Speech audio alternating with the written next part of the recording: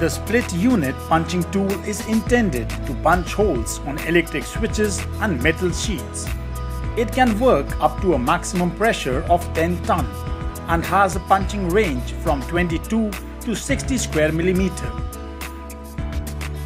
The demo is performed on an aluminium sheet to punch a 22 millimeter hole. The setup is done by first placing the 20 millimeter die rod in the pump and then the two washers are placed on it. Then the 10 mm die rod is placed. A 22 mm die and the plate are then appropriately tightened in the setup.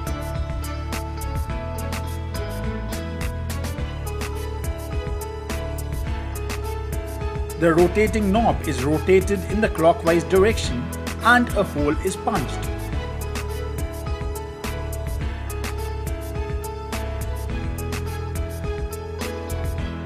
The plate is released by rotating the knob in anti-clockwise direction